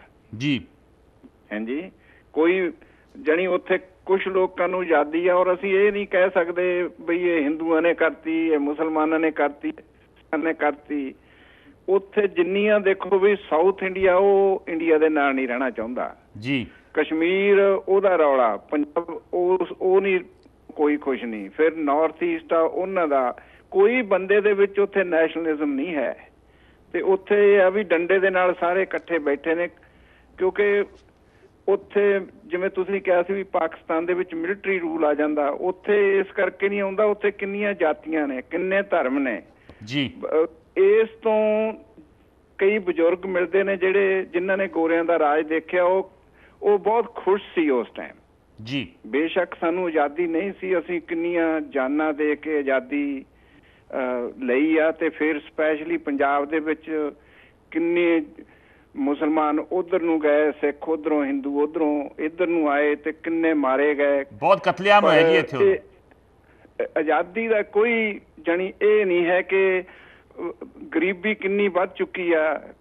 ਕਰਪਸ਼ਨ ਦੇ ਨਾਲ ਕੋਈ ਤੁਸੀਂ ਪੁੱਛੋ ਹੀ ਨਾ ਇੰਨੀ ਕਰਪਸ਼ਨ ਹੋ ਚੁੱਕੀ ਆ ਕਿ ਕੋਈ ਕੁਝ ਗਰੀਬ ਦਾ ਤਾਂ ਉੱਥੇ ਕੰਮ ਹੀ ਨਹੀਂ ਕੋਈ ਜੇ। ਕਚਹਿਰੀ 'ਚ ਕੋਈ ਕੰਮ ਆ ਕੋਈ ਕੁਝ ਵੀ ਅਮਰਜੀਤ ਕਰਨਾ ਜੀ ਅ, ਕੀ ਕੀ ਕਰਨ ਦੀ ਲੋੜ ਆ? ਦੇਖੋ ਜੀ ਕਰਨ ਦੀ ਉੱਥੇ ਸਭ ਤੋਂ ਵੱਡੀ ਚੀਜ਼ ਤਾਂ ਇਹ ਹੈ ਉੱਥੇ ਲਾ ਤਾਂ ਪਹਿਲਾਂ ਹੀ ਬਹੁਤ ਨੇ। ਜੀ। ਲਾ ਤਾਂ ਉੱਥੇ ਬਹੁਤ ਨੇ ਸਿਰਫ ਲੋਕਾਂ ਨੂੰ ਇੱਕ ਤਾਂ ਪੜ੍ਹੇ ਲਿਖੇ ਜਦੋਂ ਅਸੀਂ ਲੋਕ ਇਹ ਸਮਝਦੇ ਸ਼ਾਇਦ ਜਦੋਂ ਲੋਕਾਂ ਦੇ ਵਿੱਚ ਐਜੂਕੇਸ਼ਨ ਆ ਜੂਗੀ ਵੀ ਸ਼ਾਇਦ ਉਹਦੇ ਨਾਲ ਸੁਧਾਰ ਹੋਊਗਾ। ਪਰ ਹੁਣ ਦੇਖ ਲਓ ਵੀ ਐਜੂਕੇਸ਼ਨ ਵੀ ਕਾਫੀ ਆ ਲੋਕਾਂ ਕੋਲੇ ਬਹੁਤ ਉੱਚ ਵਿਦਿਆ ਬਹੁਤਿਆਂ ਕੋਲੇ। ਨਹੀਂ ਪਰ ਜਿਹੜਾ ਪਹਿਲਾ ਪੁਆਇੰਟ ਤੁਹਾਡਾ ਅਮਰਜੀਤ ਸਿੰਘ ਜੀ ਉਹ ਬੜਾ ਵੈਲਿਡ ਆ ਵੀ ਰੂਲ ਆਫ ਲਾਅ ਜਿਹੜਾ ਵਾ ਕਾਨੂੰਨ ਹੈ ਲੇਕਿਨ ਉਹਨਾਂ ਨੂੰ ਐਨਫੋਰਸ ਨਹੀਂ ਲਾਗੂ ਨਹੀਂ ਕੀਤਾ ਜਾਂਦਾ। So enforcement of law rule of law ਜਿਹੜਾ ਵਾ ਇਹ ਬਹੁਤ ਅਹਿਮ ਆ। ਜੇ ਇਹਨੂੰ ਆਪਾਂ ਐਨਫੋਰਸ ਕਰ ਦਈਏ ਤੇ ਮੈਨੂੰ ਲੱਗਦਾ ਅੱਧੀਆਂ ਪ੍ਰੋਬਲਮ ਜਿਹੜੀਆਂ ਉਹ ਹੱਲ ਹੁੰਦੀਆਂ ਨਜ਼ਰ ਆਉਣਗੀਆਂ। ਹਾਂਜੀ। ਮਿਹਰਬਾਨੀ। ਅਮਰਜੀਤ ਜੀ ਬਹੁਤ ਮਿਹਰਬਾਨੀ। ਇੱਕ ਹੋਰ ਸੱਜਣ ਸਾਡੇ ਨਾਲ ਨੇ ਦੇਖਦੇ ਆ ਉਹਨਾਂ ਦਾ ਸਾਡੇ 69th ਇੰਡੀਪੈਂਡੈਂਸ ਦੇ ਆਜ਼ਾਦੀ ਦਿਵਸ ਤੇ ਉਹਨਾਂ ਦਾ ਇਸ ਵੇਲੇ ਕੀ ਵਿਚਾਰ ਹੈ ਕਿ ਸਾਡੇ ਸਾਹਮਣੇ ਕੀ ਚੁਣੌਤੀਆਂ ਨੇ ਔਰ ਉਹਨਾਂ ਦਾ ਕੀ ਹੱਲ ਹੈ। ਹੈਲੋ ਸਤਿ ਸ੍ਰੀ ਅਕਾਲ ਜੀ। ਸਤਿ ਸ਼੍ਰੀ ਅਕਾਲ ਜੀ। ਮੈਂ ਸੂਬੇਦਾਰ ਹਰਮੇਲ ਹਾਂਜੀ, ਸੂਬੇਦਾਰ ਜੀ, ਸਤਿ ਸ੍ਰੀ ਅਕਾਲ। ਦੇਖੋ ਜੀ ਮੇਰਾ ਦੋ ਪਰਿਵਾਰਾਂ ਨਾਲ ਸੰਬੰਧ ਹੈ। ਜੀ। ਇੱਕ ਤਾਂ ਜਿਹੜੇ ਲੋਕ ਉਸ ਵੇਲੇ ਆਏ ਮੇਰੇ ਨਾਨਕੇ ਔਰ ਮੇਰੇ ਦਾਦਕੇ ਉਹ ਸਾਰੇ ਲੈਲਪੁਰ ਜ਼ਿਲ੍ਹੇ ਤੋਂ ਆਏ। ਜੀ। ਜੋ ਕੁਝ ਉਹਨਾਂ ਨੇ ਬੀਤਿਆ ਉਹਦੇ ਬਾਰੇ ਤਾਂ ਮੈਂ ਦੱਸ ਨਹੀਂ ਸਕਦਾ ਕਿ ਤੁਹਾਨੂੰ ਸਾਰਿਆਂ ਨੂੰ ਪਤਾ ਹੈ। ਜੀ। ਦੂਜੀ ਗੱਲ 69ਵੇਂ ਆਜ਼ਾਦੀ ਦਿਵਸ ਦੇ ਉੱਤੇ ਮੈਂ ਪਹਿਲੀ ਵਾਰ ਦੇਖਿਆ ਕਿ ਜਦੋਂ ਉਹਨਾਂ ਲੋਕਾਂ ਨੂੰ ਧੱਕੇ ਮਾਰ ਕੇ ਬਾਹਰ ਕੱਢਿਆ ਸਾਬਕਾ ਸੈਨਿਕਾਂ ਨੂੰ ਜਿਨ੍ਹਾਂ ਨੇ ਇਸ ਦੇਸ਼ ਨੂੰ ਬਚਾਉਣ ਦੀ ਖਾਤਰ ਜਾਨ ਵਾਰ ਦਿੱਤੀ। ਜੀ। ਹਾਂਜੀ? ਤੇ ਨੰਬਰ 3 ਆਜ਼ਾਦੀ ਦਾ ਸੁੱਖ ਤਾਂ ਉਹ ਮਾਣ ਰਹੇ ਆ ਜਿਹੜੇ 1 ਮਹੀਨੇ ਤੱਕ ਕੱਲ ਕੁੱਤਿਆਂ ਨਾਲੋਂ ਵੀ ਭੈੜੀ ਲਈ ਉਹਨਾਂ ਨੇ ਪਾਰਲੀਮੈਂਟ 'ਚ ਦਿਖਾਈ ਕਿ ਸਾਡੇ ਮੁਲਕ ਦਾ ਰਾਸ਼ਟਰਪਤੀ ਇਹੋ ਜੀ ਹਾਲਤ ਦੇਖ ਕੇ ਐਮਰਜੈਂਸੀ ਜਾਂ ਫੌਜ ਨੂੰ ਨਹੀਂ ਹੁਕਮ ਦੇ ਸਕਦਾ ਸੀ ਵੀ ਇਹਨਾਂ ਨੂੰ ਸੁਧਾਰੋ। ਹਾਂਜੀ। ਜੀ, ਸੁਬੇਦਾਰ ਜੀ, ਦੇਖੋ ਪਹਿਲੀ ਗੱਲ ਤੇ ਮੈਂ ਤੁਹਾਡੀ ਫੀਲਿੰਗ ਸ਼ੇਅਰ ਕਰਦਾ ਵਾਂ ਕਿ ਕੱਲ ਜਿਹੜੀ ਐਕਸ ਸਰਵਿਸਮੈਨ ਦਿੱਲੀ 'ਚ ਜੰਤਰ ਮੰਤਰ ਜਿਹੜੀ ਪ੍ਰੋਟੈਸਟ ਕਰ ਰਹੇ, ਪਿਛਲੇ 2 ਮਹੀਨਿਆਂ ਤੋਂ ਪ੍ਰੋਟੈਸਟ ਕਰ ਰਹੇ। ਇਨਫੈਕਟ ਪ੍ਰੋਟੈਸਟ ਕਈ ਸਾਲਾਂ ਤੋਂ ਹੀ ਜਾਰੀ ਆ, ਪਰ 2 ਮਹੀਨਿਆਂ ਤੋਂ ਉਹਨਾਂ ਨੇ ਉੱਥੇ ਰੋਸ ਮੁਜ਼ਾਹਰਾ ਜਿਹੜਾ ਵਾ ਜੰਤਰ ਮੰਤਰ ਦੇ ਸ਼ੁਰੂ ਕੀਤਾ। ਪੀਸਫੁਲ ਪ੍ਰੋਟੈਸਟ ਕਰ ਰਹੇ ਆ, ਉਹਨਾਂ ਨੇ ਦੋ ਤਿੰਨ ਤੰਬੂ ਲਾਏ ਆ। ਰੋਜ਼ ਨਵੇਂ ਬੰਦੇ ਆ ਕੇ ਉੱਥੇ ਭੁੱਖ ਹੜਤਾਲ ਤੇ ਡੇ ਲੌਂਗ ਭੁੱਖ ਹੜਤਾਲ ਹੁੰਦੀ ਆ, ਉੱਥੇ ਬੈਠਦੇ ਆ। ਦੇਖੋ ਇੰਡੀਪੈਂਡੈਂਸ ਡੇ ਤੇ ਕੁਝ ਸੁਰੱਖਿਆ ਕਦਮ ਜ਼ਰੂਰ ਸਿਕਿਉਰਿਟੀ ਸਟੈਪਸ ਜ਼ਰੂਰ ਚੁੱਕਣੇ ਚਾਹੀਦੇ ਆ, ਕਿਉਂਕਿ ਬੜੀ ਮਾੜੀ ਜੀ ਗੱਲ ਲੱਗਦੀ ਜੇ ਕੋਈ ਵਾਕਿਆ ਕਿਤੇ ਨਾ ਕਿਤੇ ਹੋ ਜੇ, ਇਹੋ ਜਿਹੇ ਦਿਨ ਤੇ ਐਵੇਂ ਭਗਦੜ ਮਚ ਜਾਂਦੀ ਉਸ ਵੇਲੇ। ਲੇਕਿਨ ਮੇਰੇ ਖਿਆਲ ਸੁਰੱਖਿਆ ਦੇ ਨਾਂ ਤੇ ਸਾਡੀਆਂ ਸਿਕਿਉਰਿਟੀ ਫੋਰਸਿਸ ਜਿਹੜੀਆਂ ਨਾ, ਉਹ ਇੱਕ ਤਰੀਕੇ ਨਾਲ ਕੋਈ ਨਹੀਂ ਚਾਹੁੰਦਾ ਵੀ ਉਹਨੂੰ ਕੋਈ ਕੁਐਸਚਨ ਕੀਤਾ ਜਾਏ ਵੀ ਆ ਕਿਉਂ ਹੋ ਗਿਆ। ਸੋ ਉਹ ਓਵਰ ਐਕਟ ਕਰਦੇ ਆ ਓਵਰ ਰਿਐਕਟ ਕਰਦੇ ਆ। ਮੇਰਾ ਖਿਆਲ ਆ ਜਿਵੇਂ ਜਿਸ ਤਰ੍ਹਾਂ ਦੀ ਚੈਕਿੰਗ ਸਾਰੇ ਪਾਸੇ ਖੱਬੇ ਸੱਜੇ ਹੋ ਰਹੀ ਆ, ਔਰ ਬਿਨਾਂ ਸਮਝ ਦੇ ਚੈਕਿੰਗ ਹੋ ਰਹੀ ਆ। ਔਰ ਇਹ ਵੀ ਜਿਹੜੀ ਕੋਸ਼ਿਸ਼ ਆ ਵੀ ਕਿਤੇ ਵੀ ਕੋਈ ਮੁਜ਼ਾਹਰਾ ਕਰ ਰਿਹਾ ਵਾ ਉਹਨੂੰ ਚੁੱਕ ਦਿਓ ਉੱਥੋਂ। ਇਹ ਮੇਰਾ ਖਿਆਲ ਆ ਇਹ ਧੱਕੇ ਨਾਲ ਇਸ ਤਰ੍ਹਾਂ ਦਾ ਜਿਹੜਾ ਕੰਮ ਹੋ ਰਿਹਾ ਵਾ ਇਹ ਬਹੁਤ ਮਾੜੀ ਗੱਲ ਆ। ਕਿਸੇ ਵੀ ਜੇ ਕੋਈ ਮੁਜ਼ਾਹਰਾ ਕਰ ਰਿਹਾ ਵਾ ਜੇ ਉਸ ਆਪਣੀ ਡੈਜ਼ਿਗਨੇਟਿਡ ਥਾਂ ਤੇ ਬੈਠਾ ਪਹਿਲਾਂ ਤਾਂ ਤੁਸੀਂ ਇਹ ਮੁਜ਼ਾਹਰੇ ਜਿਹੜੇ ਆ ਇਹ ਅਲਾਉ ਹੋਣੇ ਚਾਹੀਦੇ ਆ ਵੀ ਜਿੱਥੇ ਤੁਹਾਡੀ ਸੀਟ ਆਫ ਪਾਵਰ ਹੈ ਉਹਦੇ ਸਾਹਮਣੇ ਸੋ that ਤੁਹਾਨੂੰ ਦੱਸੇ ਵੀ ਅਸੀਂ ਗਲਤ ਕਾਰਗੁਜ਼ਾਰੀ ਕਰ ਰਹੇ ਆ ਤੇ ਸਾਨੂੰ ਕੁਝ ਆਪਣੇ ਕਰੈਕਟ ਸਟੈਪਸ ਲੈਣ ਦੀ ਲੋੜ ਹੈ। ਪਹਿਲਾਂ ਤੁਸੀਂ ਉਹਨਾਂ ਨੂੰ ਬਾਹਰ ਕੱਢਤਾ। ਸਾਡੇ ਚੰਡੀਗੜ੍ਹ 'ਚ ਵੀ ਅ, 25 ਸੈਕਟਰ ਦੇ ਵਿੱਚ 25 ਸੈਕਟਰ ਦੇ ਵਿੱਚ ਸ਼ਮਸ਼ਾਨ ਘਾਟ ਆ, ਉਹਦੇ ਨਾਲ ਹੀ ਇੱਕ ਥਾਂ ਦਿੱਤੀ ਹੈ ਜਿੱਥੇ ਤੁਸੀਂ ਮੁਜ਼ਾਹਰੇ ਕਰ ਸਕਦੇ ਜੀ। ਸੋ ਪਹਿਲਾਂ ਤਾਂ ਤੁਸੀਂ ਉਹਨਾਂ ਨੂੰ ਬਾਹਰੋਂ, ਸ਼ਹਿਰ ਤੋਂ ਬਾਹਰ ਕੱਢਦਾ ਕਿ ਤੁਹਾਨੂੰ ਕੋਈ ਵੇਖ ਨਾ ਸਕੇ। ਉੱਥੇ ਬੰਦਾ ਉਦੋਂ ਹੀ ਜਾਂਦਾ ਵਾ, ਜਦੋਂ ਕਿਤੇ ਘਰ ਦੇ ਵਿੱਚ ਮੌਤ ਹੋ ਜਾਂਦੀ ਹੈ ਜਾਂ ਕਿਸੇ ਹੋਰ ਪਰਿਵਾਰ ਦੇ ਮੈਂਬਰ ਜਾਂ ਕਿਸੇ ਇਹੋ ਜਿਹੇ ਮੌਕੇ ਤੇ ਜਾਣਾ ਪੈਂਦਾ ਵਾ। ਸੋ ਪਹਿਲਾਂ ਤਾਂ ਉਹਨਾਂ ਨੂੰ ਤੁਸੀਂ ਬਾਹਰ ਕੱਢਤਾ ਔਰ ਉਹ ਵੀ ਉਸ ਦਿਨ ਨੂੰ ਉੱਥੇ ਵੀ ਤੁਹਾਨੂੰ ਉਹਨਾਂ ਤੋਂ ਖਤਰਾ ਲੱਗਦਾ। ਔਰ ਫਿਰ ਖਤਰਾ ਫੌਜੀਆਂ ਤੋਂ। ਜਿਹੜੇ ਲੋਕਾਂ ਨੇ ਵਾਕਈ ਵੀ ਜਿਹੜੇ ਲੋਕਾਂ ਨੇ ਮੁਲਕ ਲਈ ਜਾਨ ਦੇ ਦਿੱਤੀ ਜਾਂ ਜਾਨ ਦੇਣ ਨੂੰ ਤਿਆਰ ਹੋਏ ਆ, ਉਹਨਾਂ ਨੇ, ਉਹਨਾਂ ਤੋਂ ਕੀ ਖਤਰਾ ਵਾ? ਸੋ ਮੇਰਾ ਖਿਆਲ ਆ ਵੀ ਇਹੋ ਜਿਹੇ ਮੌਕੇ ਤੇ ਬਹੁਤ ਚੰਗਾ ਹੁੰਦਾ ਜੇ ਪ੍ਰਧਾਨ ਮੰਤਰੀ ਜੇ ਉੱਥੇ ਉਹਨਾਂ ਨੂੰ ਮਿਲਣ ਜਾਂਦੇ। ਵੀ ਤੁਹਾਡੀ ਮੈਂ ਦਿੱਕਤ ਜਿਹੜੀ ਆ, ਤੁਹਾਡੀ ਪ੍ਰੋਬਲਮ ਜਿਹੜੀ ਅਸੀਂ ਹੱਲ ਕਰ ਰਹੇ ਆ। ਮੈਂ ਸੋਚਿਆ ਵੀ ਇਸ ਦਿਨ ਮੈਂ ਤੁਹਾਨੂੰ ਆਪਣੇ ਤੁਹਾਡੇ ਥਾਂ ਜਾ ਕੇ ਮਿਲਾਂ। ਸੋ ਇਹਦੀ ਬਜਾਏ ਤੁਸੀਂ ਪੁਲਿਸ ਭੇਜਤੀ ਔਰ ਪੁਲਿਸ ਨੇ ਜਾ ਕੇ ਉੱਥੇ ਉਹਨਾਂ ਉਹਨੂੰ ਧੱਕੇ ਧੋਕੇ ਮਾਰੇ। ਪਹਿਲਾਂ ਤੇ ਉਹ ਜਿਹੜੀ ਪੁਲਿਸ ਸੀ, ਉਹਨਾਂ ਨੇ ਐਂ ਲੱਗਦਾ ਸੀ ਕਿ ਉਹਨਾਂ ਨੇ ਫੌਜੀ ਅੱਜ ਕੱਲ੍ਹ ਇਹ ਵੀ ਇੱਕ ਫੈਸ਼ਨ ਹੋ ਗਿਆ ਵੀ ਫੌਜੀ ਵਰਦੀ ਸਾਰੀ ਪਾਉਣ ਲੱਗ ਪਏ। ਉਹ ਜੀ ਫੌਜੀ, ਫੌਜ ਵਰਗੀ ਵਰਦੀ। ਸੋ ਇਹ ਬੜਾ ਬੁਰਾ ਲੱਗਾ। ਕਿ ਉਹਨਾਂ ਨੂੰ ਧੱਕੇ ਧੋਕੇ ਮਾਰੇ। ਬਾਅਦ ਸਰਕਾਰ ਨੇ ਫਿਰ ਇਹ ਵੀ ਕਿਹਾ ਤਾਂ ਵੀ ਗਲਤੀ ਹੋ ਗਈ, ਨਹੀਂ ਅਸੀਂ ਕਰਾਂਗੇ, ਇਹ ਪ੍ਰੋਟੈਸਟ ਕਰ ਸਕਦੇ ਆ। ਸੋ ਪਹਿਲਾਂ ਤੇ ਇਹ ਬਿਨਾਂ ਸੋਚੇ ਸਮਝੇ ਕਿੰਨੇ ਹੁਕਮ ਦਿੱਤੇ ਵੀ ਉਹਨਾਂ ਨੂੰ ਪ੍ਰੋਟੈਸਟ ਤੋਂ ਉੱਥੋਂ ਚੁੱਕ ਦਿਓ? ਮੇਰਾ ਖਿਆਲ ਉਹਦੀ ਇੱਕ ਤੇ ਜਵਾਬਦੇਹੀ ਹੋਣੀ ਚਾਹੀਦੀ ਹੈ ਵੀ ਉਹਨੂੰ ਕਿਸੇ ਨੂੰ ਪੁੱਛ ਕੇ ਵੀ ਕੀਤਾ ਹੈ। ਮੇਰਾ ਖਿਆਲ ਹੈ ਇਹ ਫੌਜੀ ਪ੍ਰੋਟੈਸਟ ਜਿਹੜੀ ਹੋ ਰਹੀ ਸੀ, ਕਿੰਨਾ ਸੈਂਸਿਟਿਵ ਇਸ਼ੂ ਆ। ਜਿਹੜੀ ਉਹ ਮੰਗ ਰੱਖੀ ਉਹਨਾਂ ਨੇ one rank one pay 25 lakh ਦੇ ਕਰੀਬ ਫੌਜੀ ਇਹਦੇ ਨਾਲ ਇਫੈਕਟ ਹੁੰਦੇ ਆ। 7-8 ਵਿਡੋਜ਼ ਜਿਹੜੀਆਂ 7-8 ਲੱਖ ਵਿਡੋਜ਼ ਉਹ ਇਫੈਕਟ ਹੁੰਦੀਆਂ ਵਾ। ਸੋ ਇੱਕ ਤੇ ਇਹ ਬਹੁਤ ਮਾੜੀ ਗੱਲ ਹੈ ਜਿਹੜੀ ਕੱਲ ਇਹ ਵਾਕਿਆ ਹੋਇਆ ਔਰ ਮੇਰਾ ਖਿਆਲ ਹੈ ਇਹ ਇੱਕ ਇਸ ਸਰਕਾਰ ਦੇ ਇਹ ਗੱਲ ਜਿਹੜੀ ਆ, ਉਹ ਖਿਲਾਫ ਜਾਊਗੀ। ਹੋ ਸਕਦਾ ਅੱਜ ਕੋਈ ਪ੍ਰਧਾਨ ਮੰਤਰੀ ਦੀ ਅਨਾਉਂਸਮੈਂਟ ਵੀ ਕਰ ਦੇਣ, ਪਰ ਮੈਂ ਜਿਵੇਂ ਆਪਣੇ ਬਲੌਗ 'ਚ ਵੀ ਕੱਲ ਕਿਹਾ ਸੀ, ਸਿਰਫ ਮੈਜ਼ ਅਨਾਉਂਸਮੈਂਟ ਦੀ ਲੋੜ ਨਹੀਂ ਐਨਫੋਰਸਮੈਂਟ ਦੀ ਲੋੜ ਹੈ। ਸੋ ਦੇਖਦੇ ਹਾਂ ਕਿ ਅੱਜ ਦਿਨ ਦੇ ਵਿੱਚ ਪ੍ਰਧਾਨ ਮੰਤਰੀ ਜੋ ਆਪਣੀ ਐਡਰੈਸ ਕਰਨਗੇ ਮੁਲਕ ਨੂੰ, ਉਦੋਂ ਉਹ ਕੀ ਕਹਿਣਗੇ। ਸੁਬੇਦਾਰ ਜੀ ਬਹੁਤ ਬਹੁਤ ਧੰਨਵਾਦ। ਇੱਕ ਹੋਰ ਸੱਜਣ ਸਾਡੇ ਨਾਲ ਨੇ, ਦੇਖਦੇ ਹਾਂ ਉਹਨਾਂ ਦੇ, ਉਹਨਾਂ ਦਾ ਕੀ ਪ੍ਰਸਤਾਵ ਹੈ। ਹੈਲੋ ਹੈਲੋ ਸਤਿ ਸ੍ਰੀ ਅਕਾਲ ਸੰਧੂ ਸਾਹਿਬ। ਸਤਿ ਸ਼੍ਰੀ ਅਕਾਲ ਜੀ। ਮੈਂ ਸ਼ੇਰਗਿੱਲ ਬੋਲਦਾ ਲਾਸ ਐਂਜਲਸ ਤੋਂ। ਹਾਂਜੀ ਹਾਂਜੀ ਸ਼ੇਰਗਿਲ ਜੀ ਦੱਸੋ ਤੁਹਾਡਾ ਕੀ ਪ੍ਰਸਤਾਵ ਹੈ ਕੀ ਵਿਚਾਰ ਹੈ? ਮੇਰਾ ਵਿਚਾਰ ਸੰਧੂ ਸਾਹਿਬ ਇਹ ਹੈ ਵੀ ਆਜ਼ਾਦੀ ਲਈ ਚਲੋ ਆਜ਼ਾਦੀ ਦੇਣਾ ਹੈ ਪਰ ਆਜ਼ਾਦੀ ਤੋਂ ਪਹਿਲਾਂ ਜਿਹੜੇ ਆਪਣੇ ਸ਼ਹੀਦਾਂ ਨੇ ਸ਼ਹੀਦੀਆਂ ਪਾਈਆਂ ਸਰਦਾਰ ਭਗਤ ਸਿੰਘ ਹੋਰਾਂ ਨੇ ਜਾਂ ਕਰਤਾਰ ਸਿੰਘ ਸਰਾਭੇ ਹੋਰਾਂ ਨੇ ਜੀ। ਜਾਂ ਜਿਹੜੇ ਹੋਰ ਵੀ ਨੇਕਾਂ ਸ਼ਹੀਦ ਹੈ ਜਿਹੜਾ ਉਹਨਾਂ ਨੇ ਸੰਕਲਪ ਸੋਚਣਾ ਸੋਚਿਆ ਸੀ ਆਜ਼ਾਦੀ ਤੋਂ ਬਾਅਦ ਕਿਹੋ ਜਿਹੀ ਸਰਕਾਰ ਹੋਊਗੀ ਜਿਹਦੇ 'ਚ ਕਿ ਆਮ ਜਿਹੜੇ ਲੋਕ ਆ ਹਰ ਇੱਕ ਨਾਗਰਿਕ ਦੀ ਰੋਟੀ ਕੱਪੜੇ ਦੀ ਮਕਾਨ ਦੀ ਜ਼ਰੂਰਤ ਪੂਰੀ ਹੋਊ।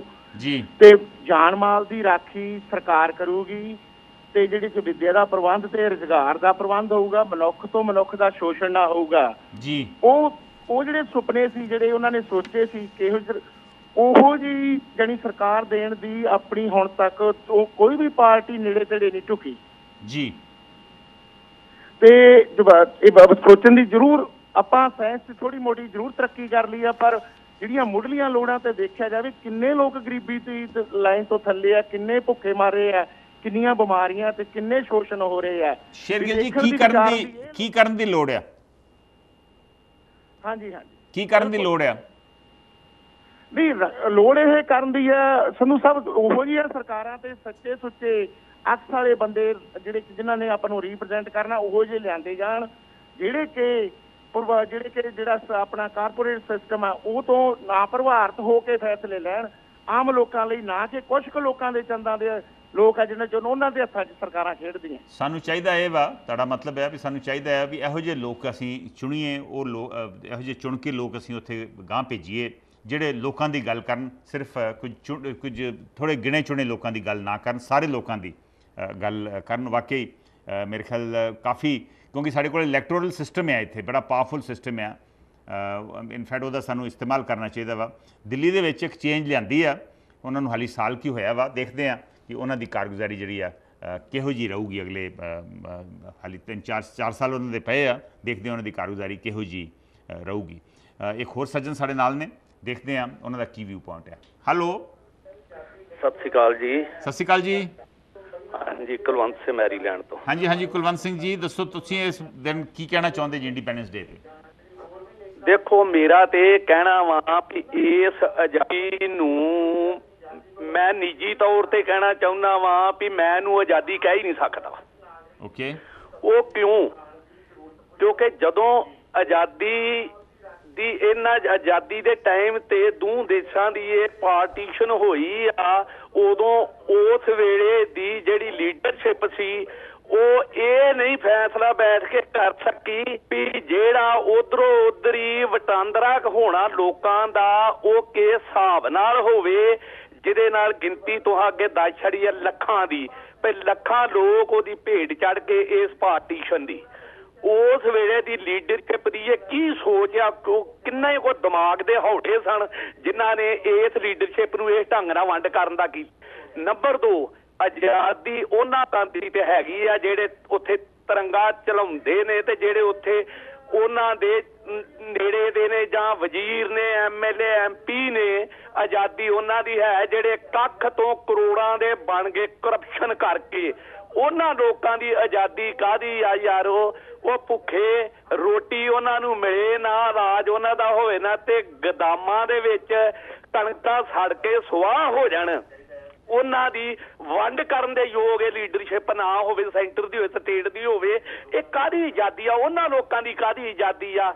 ਇੱਕ ਪੁਲ ਬਣਾਉਣ ਨਾਲ, ਇੱਕ ਸੜਕ ਬਣਾਉਣ ਨਾਲ ਉਹਨਾਂ ਭੁੱਖੇ ਲੋਕਾਂ ਨੂੰ ਕੀ ਮਿਲਦਾ ਵਾ? ਜਿੰਨਾ ਕਦੇ ਸੜਕ ਤੇ ਚੜ ਕੇ ਹੀ ਨਹੀਂ ਵੇਖਣਾ। ਇਸ ਲਈ ਇਹਨੂੰ ਆਜ਼ਾਦੀ ਕਹਿਣਾ।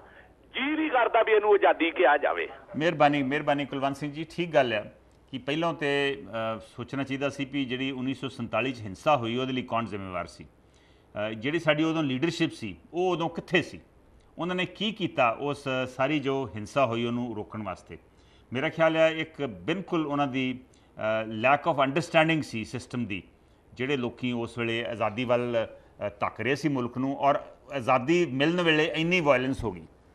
ਪੰਜਾਬ ਨੇ ਇਨਫੈਕਟ ਸਾਰਾ ਹੀ ਸੰਤਾਪ ਜਿਹੜਾ ਵਾ ਸਾਰੇ ਮੁਲਕ ਦਾ ਸੰਤਾਪ ਜਿਹੜਾ ਵਾ ਜੋ ਆਜ਼ਾਦੀ ਦੀ ਜਿਹੜੀ ਜਿਹੜੀ ਇਹ ਨੁਕਸਾਨ ਹੋਇਆ ਉਹ ਸਾਰਾ ਪੰਜਾਬ ਨੇ ਅ, ਝੱਲਿਆ ਈਸਟ ਪੰਜਾਬ ਵੈਸਟ ਪੰਜਾਬ ਦੋਵੇਂ ਪਾਸੇ ਦੇਖੋ ਕਿੰਨਾ ਨੁਕਸਾਨ ਹੋਇਆ।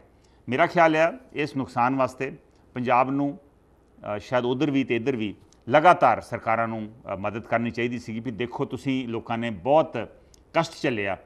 ਆਜ਼ਾਦੀ ਸਾਰੇ ਮੁਲਕ ਨੂੰ ਮਿਲੀ, ਲੇਕਿਨ ਕਸ਼ਟ ਪੰਜਾਬ ਨੇ ਝੱਲਿਆ ਪੰਜਾਬ ਜਿਹੜਾ ਵਾ, ਉਹ ਹਾਲੀ ਵੀ ਉਸ ਕਸ਼ਟ ਦੇ ਵਿੱਚ ਜੂਝ ਰਿਹਾ ਵਾ। ਇਨਫੈਕਟ ਇਹ ਜਿਹੜਾ ਮਸਲਾ ਵਾ, ਆਪਾਂ ਇਸੇ ਤਰ੍ਹਾਂ ਹੀ ਵਿਚਾਰਦੇ ਰਵਾਂਗੇ, ਪਰ ਹੁਣ ਸਮਾਂ ਇੱਕ ਬ੍ਰੇਕ ਦਾ ਵਾ। ਮੈਂ ਬ੍ਰੇਕ ਤੋਂ ਵਾਪਸ ਆ ਕੇ ਆਪਾਂ ਗੱਲ ਕਰਾਂਗੇ ਕਿ ਇਸ ਵੇਲੇ ਮੁਲਕ ਦੇ ਸਾਹਮਣੇ, ਸਾਡੇ ਸਾਰੇ ਸਾਹਮਣੇ ਕੀ ਚੁਣੌਤੀਆਂ ਨੇ? 69th ਇੰਡੀਪੈਂਡੈਂਸ ਡੇ ਜਿਹੜਾ ਵਾ ਅੱਜ ਅਸੀਂ ਸੈਲੀਬ੍ਰੇਟ ਕਰਨ ਜਾ ਰਹੇ ਹਾਂ ਇੱਥੇ ਇੰਡੀਆ ਦੇ ਵਿੱਚ। ਇਸ ਵੇਲੇ ਸਾਡੇ ਸਾਹਮਣੇ ਕੀ ਚੁਣੌਤੀਆਂ ਨੇ, ਕੀ ਚੈਲੰਜਸ ਆ? ਇਹ ਆਪਾਂ ਮਸਲਾ ਵਿਚਾਰਾਂਗੇ ਬ੍ਰੇਕ ਤੋਂ ਬਾਅਦ। ਬ੍ਰੇਕ ਤੋਂ ਬਾਅਦ ਤੁਹਾਡਾ ਸਭ ਦਾ ਹੈਲੋ ਗਲੋਬਲ ਪੰਜਾਬ ਸ਼ੋਅ 'ਚ ਸਵਾਗਤ ਹੈ।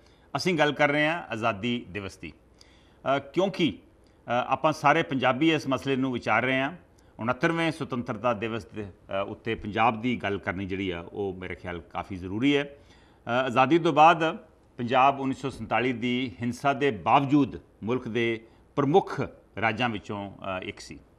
ਪਰ ਇਸ ਦਾ ਥੱਲੇ ਆਉਣ ਦਾ ਜਿਹੜਾ ਸਫ਼ਰ ਆ ਉਹ ਉਸ ਤੋਂ ਛੇਤੀ ਬਾਅਦ ਸ਼ੁਰੂ ਹੋ ਗਿਆ। ਮੈਨੂੰ ਯਾਦ ਹੈ 2005 ਦੇ ਵਿੱਚ ਜਦੋਂ ਪੰਜਾਬ ਦੀ ਆਰਥਿਕ ਵਿਵਸਥਾ ਮੁਲਕ 'ਚ 6ਵੇਂ ਨੰਬਰ ਤੇ ਗਿਣੀ ਗਈ। ਪਹਿਲਾਂ ਆਲਮੋਸਟ ਨੰਬਰ 1 ਨੰਬਰ 2 ਤੇ ਹੁੰਦਾ ਸੀ ਜੋ 6ਵੇਂ ਨੰਬਰ ਤੇ ਗਿਣੀ ਗਈ ਇਥੋਂ ਦੀ ਜਿਹੜੀ ਇਕਨੋਮਿਕ ਗਰੋਥ ਹੈ ਆਰਥਿਕ ਵਿਵਸਥਾ। ਤਾਂ ਪੰਜਾਬੀਆਂ ਨੂੰ ਸਾਨੂੰ ਸਾਰਿਆਂ ਨੂੰ ਕਾਫੀ ਨਿਰਾਸ਼ਾ ਹੋਈ ਵੀ ਪਤਾ ਨਹੀਂ ਕੀ ਵਜ੍ਹਾ ਵਾ ਇੰਨਾ ਥੱਲੇ ਕਿਉਂ ਚਲੇ ਗਿਆ। ਲੋਕੀ ਕਹਿਣ ਲੱਗੇ ਜੀ ਇਹ, ਅ, ਇੱਥੇ ਖੜਕੂਵਾਦ ਆ ਉਹਦੇ ਕਰਕੇ ਮਿਲੀਟੈਂਸੀ ਕਰਕੇ ਇਹ ਹਾਲਤ ਪੰਜਾਬ ਦੀ ਹੋਈ ਹੈ ਫਿਰ 2011 ਚ ਜਦੋਂ ਪੰਜਾਬ ਮੁਲਕ 'ਚ 12ਵੇਂ ਨੰਬਰ ਤੇ ਆ ਗਿਆ, ਪੰਜਾਂ ਸਾਲਾਂ 'ਚ 6ਵੇਂ ਤੋਂ 12ਵੇਂ ਤੇ ਆ ਗਿਆ, ਤਾਂ ਉਦੋਂ ਫਿਰ ਲੋਕਾਂ ਨੂੰ ਸਮਝ ਆਈ ਵੀ ਇਹ ਜਿਹੜਾ ਸਿਲਸਿਲਾ ਵਾ ਲਗਾਤਾਰ ਜਾਰੀ ਆ। ਹੁਣ ਸ਼ਾਇਦ ਇਹ ਉਸ ਤੋਂ ਵੀ ਮੇਰੇ ਖਿਆਲ ਥੱਲੇ ਹੋਏ, ਮੈਨੂੰ ਲੇਟੈਸਟ ਹੁਣ ਅੰਕੜੇ ਜਿਹੜੇ ਆ, ਇਸ ਵੇਲੇ ਪਤਾ ਨਹੀਂ। ਇਹ ਕਿਉਂ ਹੋਇਆ? ਪੰਜਾਬ ਜੋ ਕਿਸੇ ਵੇਲੇ ਸਾਰਿਆਂ ਨਾਲੋਂ ਇੱਕ ਅਮੀਰ ਰਾਜ ਮੰਨਿਆ ਜਾਂਦਾ ਸੀ ਉਸ 'ਚ ਹੁਣ ਕਾਫੀ ਗਰੀਬੀ ਨਜ਼ਰ ਆ ਰਹੀ ਹੈ। ਇਹਦੇ ਬਾਰੇ ਆਪਾਂ ਹੁਣੇ ਗੱਲ ਕਰਾਂਗੇ।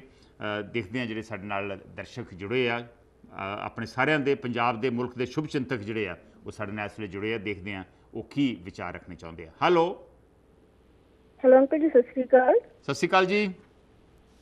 ਹਾਂਜੀ ਅੰਕਲ ਮੈਂ ਸੁਖਪ੍ਰੀਤ। ਹਾਂਜੀ ਹਾਂਜੀ ਸੁਖਪ੍ਰੀਤ।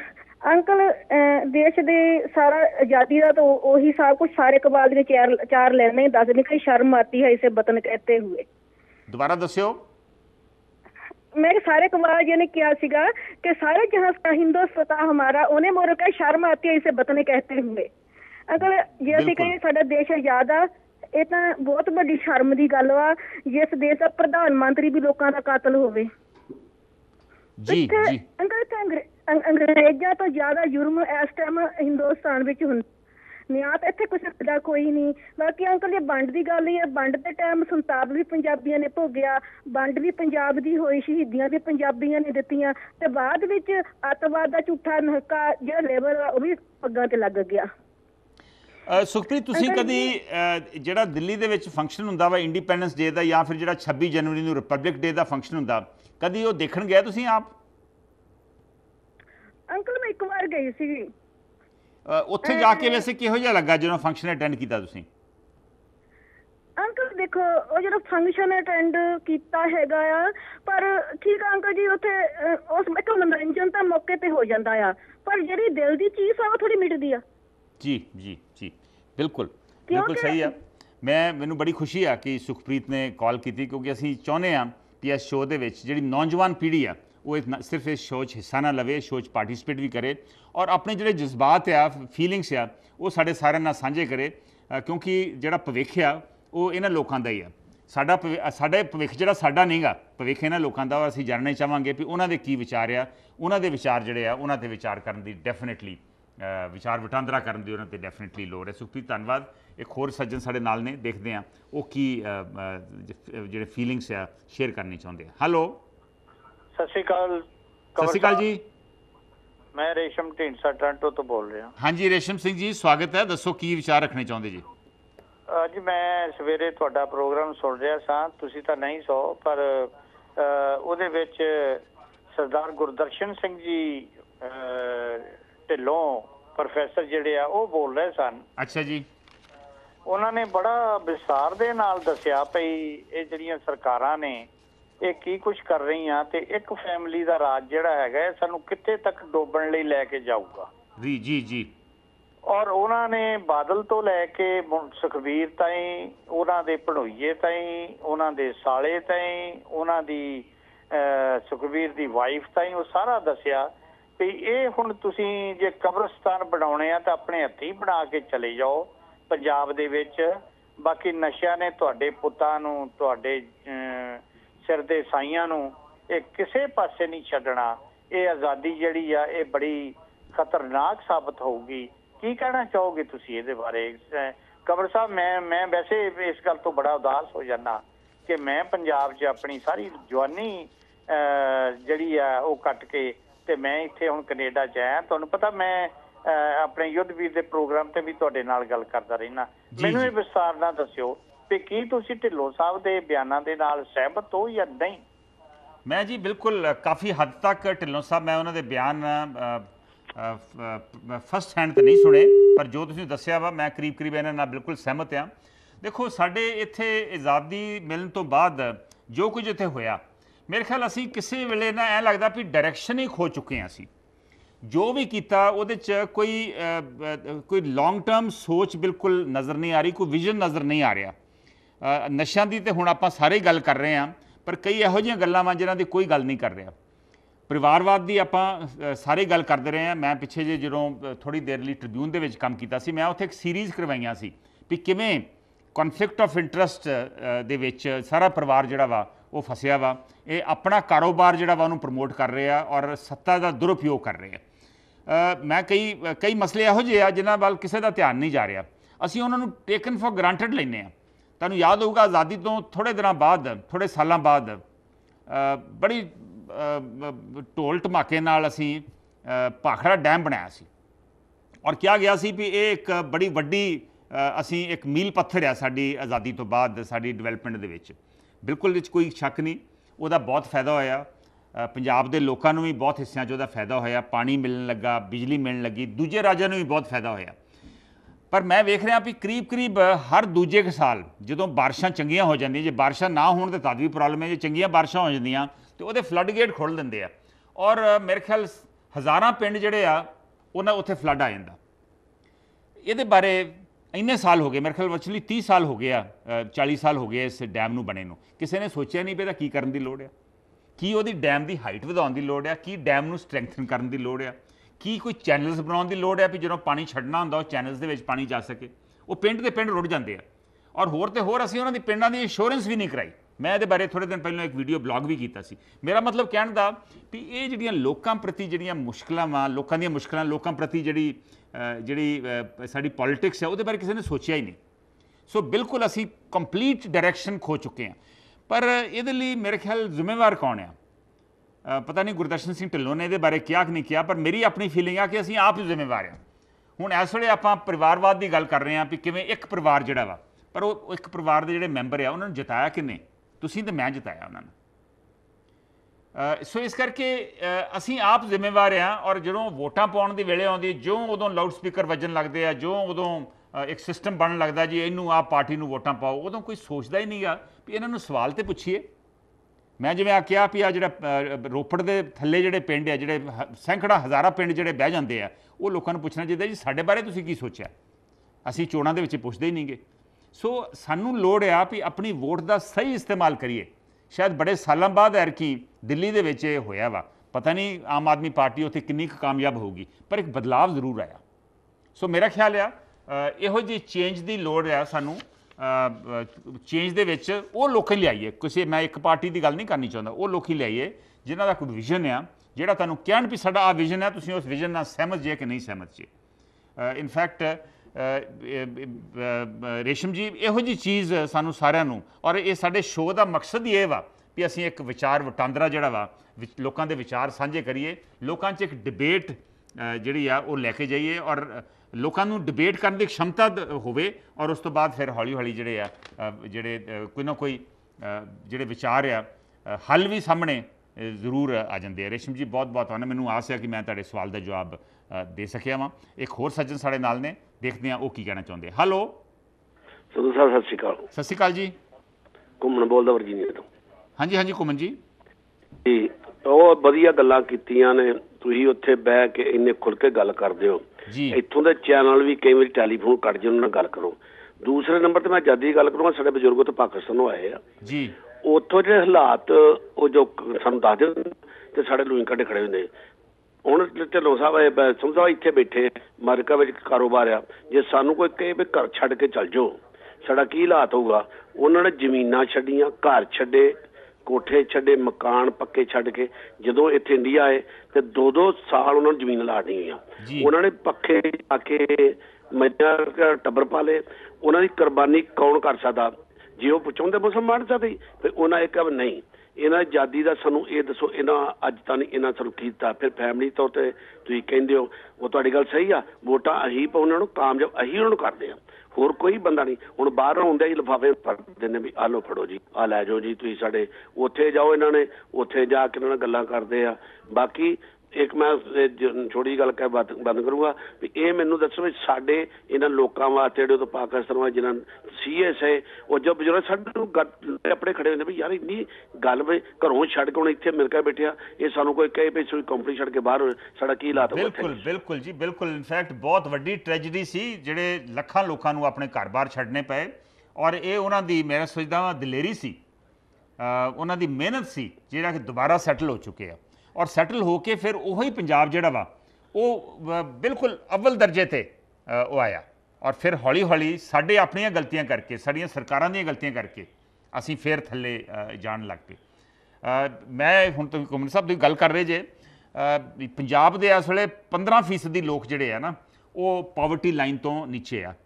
ਪੰਜਾਬ ਨੂੰ ਬੜਾ ਖੁਸ਼ਹਾਲ ਮੁਲਕ ਮੰਨਿਆ ਜਾਂਦਾ ਸੀ। ਯਦੀ ਉਹ ਦਿਨ ਦਿਨ ਦੇ ਇਹ ਲੋਕੀ ਉਹ ਆ ਜਿਹੜਾ 30 ਰੁਪਈਏ ਵੀ ਨਹੀਂ ਕਮਾਉਂਦੇ। 15% ਦੀ ਲੋਕ। ਪਿੰਡਾਂ ਦੇ ਲੋਕ ਖਾਸ ਕਰਕੇ ਕਿਸਾਨ ਜਿਹੜੇ ਆ, ਉਹ ਮੰਨਿਆ ਜਾਂਦਾ ਵਾ ਵੀ ਕਰੀਬ 35000 ਕਰੋੜ ਰੁਪਈਏ ਤੋਂ ਇਸ ਵੇਲੇ, ਇਸ ਤੋਂ ਵੱਧ ਦੇ ਕਰਜ਼ਾਈ ਹੈ ਇਸ ਵੇਲੇ। ਇਹ ਫਿਗਰ ਜਿਹੜੀਆਂ ਮੇਰੇ ਕੋਲ 2 ਸਾਲ ਪੁਰਾਣੀਆਂ ਵਾ। ਮੈਨੂੰ ਯਾਦ ਆ ਗਿਆ, ਕੁਝ ਸਾਲ ਪਹਿਲਾਂ ਆਪਣੇ ਮਸ਼ਹੂਰ ਕਵੀ ਜਿਹੜੇ ਆ ਨਾ, ਸੁਰਜੀਤ ਪਾਤਰ, ਉਹਨਾਂ ਨੇ ਇੱਕ ਕਵਿਤਾ ਲਿਖੀ ਸੀ। ਪਤਾ ਨਹੀਂ ਤੁਹਾਡੇ ਚੋਂ ਕਿੰਨਿਆਂ ਕੁ ਨੂੰ ਉਹ ਕਵਿਤਾ ਜਿਹੜੀ ਇਸ ਵੇਲੇ ਯਾਦ ਆ, ਜਿਸ 'ਚ ਉਹਨਾਂ ਕਿਹਾ ਸੀ ਕਿ ਲੱਗੀ ਨਜ਼ਰ ਪੰਜਾਬ ਨੂੰ। ਲੱਗੀ ਨਜ਼ਰ ਪੰਜਾਬ ਨੂੰ, ਇਹਦੀ ਨਜ਼ਰ ਉਤਾਰੋ।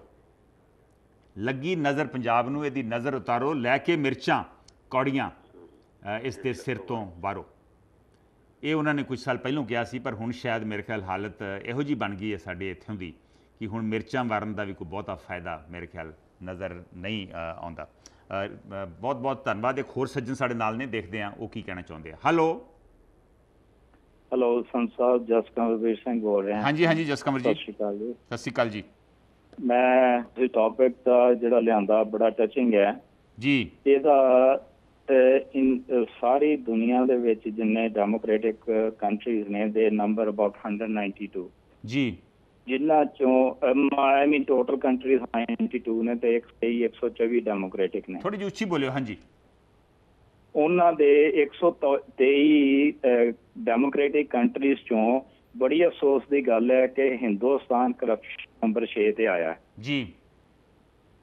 ਅੱਛਾ ਉਹਦੇ ਵਿੱਚ ਕਈ ਗਾਣੇ ਮਤਲਬ ਪੰਜਾਬ ਨੇ ਤਾਂ ਖੈਰ ਜਿਹੜਾ ਮਤਲਬ ਮੈਂ ਤੁਹਾਨੂੰ ਦੱਸਦਾ ਕਿ ਪੰਜਾਬ ਦੇ ਨਾਲ ਇਹਨਾਂ ਦਾ ਇਦਾਂ ਦਾ ਬਿਹੇਵੀਅਰ ਕਿਉਂ ਹੋਇਆ ਕਿ ਪੰਜਾਬ ਸਦੀਆਂ ਤੋਂ ਸਦੀਆਂ ਤੋਂ ਪੰਜਾਬ ਜਿਹੜਾ ਆ ਇਨਵੇਡਰਸ ਨੂੰ ਰੋਕਦਾ ਆਇਆ ਜੀ।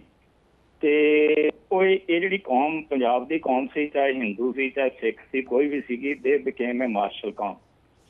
ਇਹਨਾਂ ਲੋਕਾਂ ਨੇ ਤਾਂ ਜੋ ਸਿੱਖ ਕੇ ਫਿਰ turn turn to be completely martial because the ਮਤਲਬ tyranny of the kings and ਮਤਲਬ ਬਾਦਸ਼ਾਹ ਵਗੈਰਾ ਦੇ ਵਜ੍ਹਾ ਕਰਕੇ ਜਾਂ ਗੁਰੂ ਸਾਹਿਬ ਦੀ ਜਿਹੜੀ ਸਿੱਖਿਆ ਸੀ, ਉਹਦੇ ਤੇ ਚੱਲ ਕੇ ਸਿੱਖ ਬਹਾਦਰੀ ਦੇ ਨੰਬਰ 1 ਹੋ ਗਏ।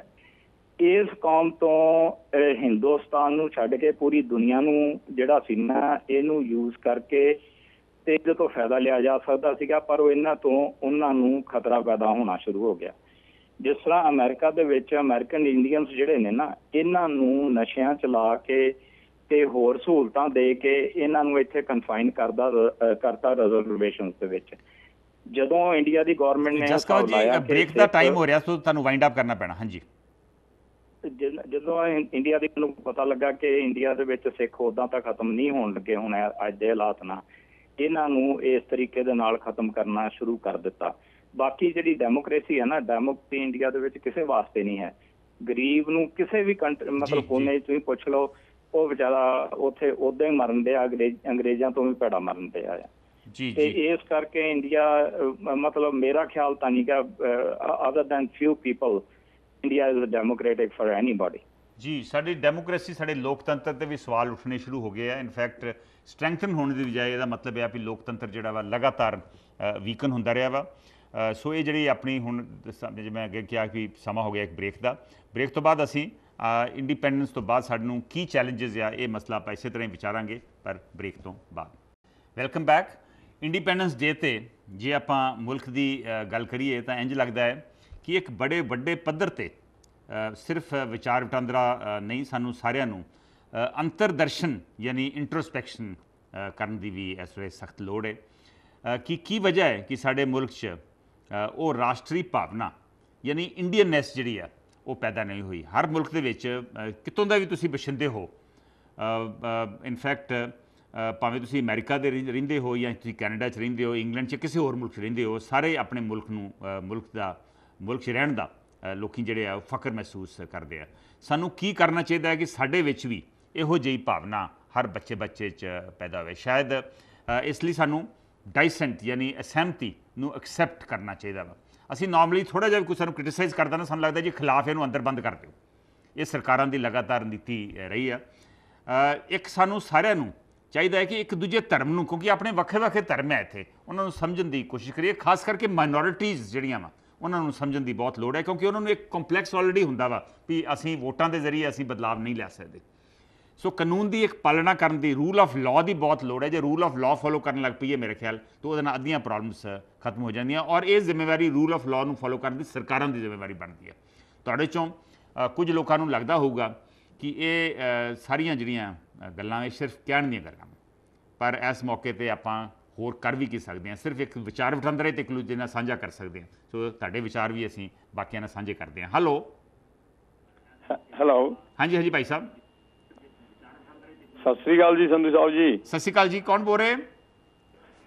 ਮੈਂ ਜੀ ਵਿਚਿੱਤਰ ਸਿੰਘ ਬੋਲਦਾ ਜੀ ਇੱਥੋਂ ਅਮਰੀਕਾ ਤੋਂ। ਹਾਂਜੀ ਬਚਿੱਤਰ ਸਿੰਘ ਜੀ ਸਵਾਗਤ ਹੈ। ਦੱਸੋ ਕੀ ਵਿਚਾਰ ਰੱਖਣੇ ਚਾਹੁੰਦੇ ਜੀ? ਮੈਂ ਹਾਂਜੀ ਹਾਂਜੀ। ਤੁਹਾਡੀ ਆਵਾਜ਼ ਆ ਰਹੀ ਭਾਈ ਸਾਹਿਬ? ਹਾਂਜੀ ਮੈਂ ਕਿਹਾ ਅਸੀਂ ਅੱਜ ਗੱਲ ਕਰ ਰਹੇ ਵੀ ਵੀ ਹਿੰਦੁਸਤਾਨ ਨੂੰ 69 ਸਾਲ ਹੋ ਗਏ। ਹਾਂਜੀ? ਜੀ ਭਾਈ ਸਾਹਿਬ ਤੁਸੀਂ ਔਨ 에ਅਰ ਜੇ ਗੱਲ ਦੱਸੋ ਕੀ ਕਹਿਣਾ ਚਾਹੁੰਦੇ ਜੇ? ਓਕੇ ਅਸੀਂ ਅੱਜ ਹਿੰਦੁਸਤਾਨ ਆਪਣਾ ਟੀਵੀ ਵੋਲਿਊਮ ਬੰਦ ਕਰ ਦਿਓ ਜੀ। ਟੀਵੀ ਨੂੰ ਦੇਖ ਕੇ ਨਾ ਗੱਲ ਕਰੋ ਤੁਸੀਂ ਪੂਰੀ ਗੱਲ ਕਰੋ ਕਿਉਂਕਿ ਸਮਾਂ ਬੜਾ ਥੋੜਾ ਆਪਣੇ ਕੋਲ। 69 ਸਾਲ ਹੋ ਗਏ ਆ ਆਜ਼ਾਦ ਹੋਇਆਂ ਨੂੰ। ਜੀ। 69ਵਾਂ 69ਵਾਂ ਅਸੀਂ ਆਜ਼ਾਦੀ ਦਿਵਸ ਅੱਜ ਮਨਾ ਰਹੇ ਹਾਂ ਜੀ। ਪਰ ਮੈਨੂੰ ਇਹ ਤੁਸੀਂ ਦੱਸੋ ਭਈ ਭਾਰਤ ਵਿੱਚ ਕੋਈ ਵੀ ਆਜ਼ਾਦ ਹੈਗਾ ਜਿਹੜਾ ਰਾਤੀ ਬੱਚਾ ਜੰਮਿਆ ਤੇ 110 ਸਾਲ ਤੱਕ ਦਾ ਜਿਹੜਾ ਬੁੱਢਾ ਹੋਇਆ ਮੈਨੂੰ ਕੋਈ ਵੀ ਦੱਸੋ ਕੌਣ ਆਜ਼ਾਦ ਆ। ਓਕੇ। ਸੰਧੂ ਸਾਹਿਬ ਪਹਿਲਾਂ ਤੁਸੀਂ ਦੱਸੋ ਵੀ ਤੁਸੀਂ ਆਜ਼ਾਦ ਆ। ਤੁਹਾਨੂੰ ਵੀ ਇੱਥੇ ਕਿਸੇ ਤਰੀਕੇ ਨਾਲ ਬੰਨਿਆ ਹੋਣਾ ਵੀ ਤੁਸੀਂ ਸਟੇਸ਼ਨ ਤੇ ਆਹ ਗੱਲ ਨਹੀਂ ਬੋਲ ਸਕਦੇ ਆਹ ਨਹੀਂ ਬੋਲ ਸਕਦੇ ਆਹ ਨਹੀਂ ਬੋਲ ਸਕਦੇ। ਬਚਿੱਤਰ ਸਿੰਘ ਜੀ ਬਾਕੀ ਤੇ ਮੈਂ ਕਿਸੇ ਬਾਰੇ ਨਹੀਂ ਕਹਿ ਸਕਦਾ ਮੈਨੂੰ ਕੋਈ ਇਹੋ ਜਿਹੀ ਪ੍ਰੋਬਲਮ ਨਹੀਂ ਕਿ ਮੈਂ ਤੇ ਜੋ ਗੱਲ ਕਰਨੀ ਮੈਂ ਤੇ ਗੱਲ ਕਰ ਰਿਹਾ ਤੁਹਾਡੇ ਨਾਲ। ਹੁੰਦਾ ਉਹਨਾਂ ਦੇ ਪਿੱਛੇ ਤੇ ਲਾ ਹੁੰਦੇ ਆ ਨਹੀਂ ਜੀ ਪਿੱਛੇ ਵੀ ਠੀਕ ਠਾਕ ਹੀ ਹੈ ਕੋਈ ਨਹੀਂ ਪਿੱਛੇ ਰੋਕਣ ਵਾਲਾ। ਖੈਰ ਦੂਜੇ ਸੱਜਣ ਜਿਹੜੇ ਆ ਉਹਨਾਂ ਦੀ ਗੱਲ ਸੁਣਦੇ ਆ। ਹੈਲੋ ਸਤਿ ਸ਼੍ਰੀ ਅਕਾਲ ਜੀ ਸੁਖਵੀਰ ਇਕਬਾਲ ਬੋਲ ਰਿਹਾ ਨਿਊਯਾਰਕ ਹਾਂਜੀ ਸੁਖਬੀਰ ਜੀ ਤੁਹਾਡੇ ਨਾਲ ਆਲਰੇਡੀ ਆਪਣੀ ਗੱਲ ਹੋ ਗਈ ਮੇਰੇ ਖਿਆਲ ਨਹੀਂ? ਨਹੀਂ ਹਲੇ ਹੋਈ ਨਹੀਂ। ਹੈਲੋ ਨਹੀਂ ਅੱਜ ਨਹੀਂ ਅੱਜ ਨਹੀਂ ਹੋਈ ਸ਼ਾਇਦ। ਹੈਲੋ ਹਾਂਜੀ। ਹਾਂਜੀ ਹਾਂਜੀ ਸੁਖਬੀਰ ਜੀ ਥੋੜਾ ਜਿਹਾ ਬਰੀਫ ਬਰੀਫ ਹੋਣਾ ਬਹੁਤ ਸਮਾਂ ਹੈ ਨਹੀਂ ਆਪਣੇ ਕੋਲ। ਅੱਜ ਦੇ ਟੌਪਿਕ ਤੇ ਬੜਾ ਸਿੰਪਲ ਜਿਹਾ ਹੈਗਾ ਆ। ਜੀ ਦੱਸੋ ਕੀ ਵਿਚਾਰ ਹੈ ਤੁਹਾਡੇ? ਕਿ ਆਪਾਂ ਹੁਣ ਫੋਰਥ ਜਨਰੇਸ਼ਨ ਵਿੱਚ ਆ ਰਹੇ ਹੈਗੇ ਆ। ਥੋੜੇ ਸਾਲਾਂ ਤੱਕ ਬਿਲਕੁਲ ਕੀ ਕਰਨ ਦੀ ਲੋੜ ਹੈ ਦੱਸੋ? ਹੁਣ ਜਿਹੜਾ ਹੁਣ ਜਿਹੜਾ ਲੋੜ ਆ ਉਹ ਹੈਗਾ ਕਿ ਆਪਣੇ ਆਪ ਨੂੰ ਅਸੀਂ ਆਜ਼ਾਦ ਡਿਕਲੇਅਰ ਕਰ ਦਈਏ। ਸਾਰੇ ਪਬਲਿਕ ਨੂੰ ਚਾਹੀਦਾ। ਜਿਹੜੇ ਅਸੀਂ ਨੇਤਾ ਚੁਣਨੇ ਹੈਗੇ ਆ। ਉਹਨਾਂ ਤੋਂ ਤਿੰਨ ਚਾਰ ਸ਼ਰਤ ਤਿੰਨ ਚਾਰ ਚੀਜ਼ਾਂ ਪਹਿਲਾਂ ਉਹਨਾਂ ਨਾਲ ਕਰ ਲਈਏ। ਪਹਿਲਾਂ ਤਾਂ ਹੈ ਕਿ ਤੁਸੀਂ ਚੁਣਨ ਤੋਂ ਚੁਣ ਸੁਖਬੀਰ ਜੀ ਤੁਸੀਂ ਨਾ ਮੇਰੇ ਖਿਆਲ ਅਖੀਰ ਜੇ ਦੇ ਵਿੱਚ ਕਾਲ ਕਰਦੇ ਸੁਖਬੀਰ ਜੀ।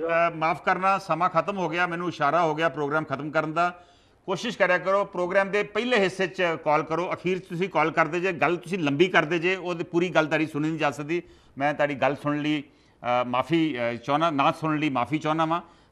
ਜਦੋਂ ਆਪਾਂ ਅਗਲੇ ਹਫ਼ਤੇ ਮਿਲਾਂਗੇ ਤਾਂ ਉਦੋਂ ਜ਼ਰੂਰ ਗੱਲ ਕਰੋ ਅੱਜ ਦਾ ਪ੍ਰੋਗਰਾਮ ਖਤਮ ਕਰਨ ਤੋਂ ਪਹਿਲਾਂ ਮੈਂ ਇਹ ਜ਼ਰੂਰ ਜਲਦੀ ਨਾਲ ਕਹਿਣਾ ਚਾਹੁੰਦਾ ਵਾਂ ਕਿ ਆਪਾਂ ਜਿੱਥੇ ਮਰਜ਼ੀ ਹੋਈਏ, ਮੈਨੂੰ ਪਤਾ ਵਾ ਵੀ ਆਪਾਂ ਪੰਜਾਬ ਦੀ ਮਿੱਟੀ ਨਾਲ ਬਹੁਤ ਜ਼ਿਆਦਾ ਆਪਣੇ ਵਤਨ ਨਾਲ, ਬਹੁਤ ਜ਼ਿਆਦਾ ਆਪਾਂ ਪਿਆਰ ਕਰਦੇ ਹਾਂ, ਉਹਨੂੰ ਯਾਦ ਕਰਦੇ ਹਾਂ।